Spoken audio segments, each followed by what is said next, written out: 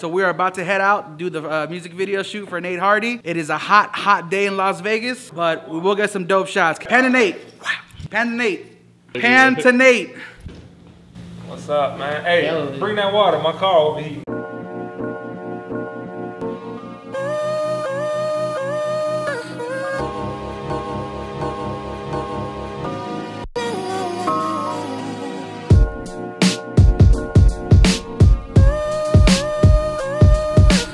So we are here at our first scene, shooting the driving shots. We uh, picked this neighborhood, but it doesn't look like any other neighborhood in Vegas.